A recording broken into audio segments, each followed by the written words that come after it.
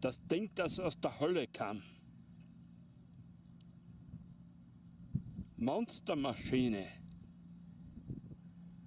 bei der Weizenernte. Bitte schauen Sie selber.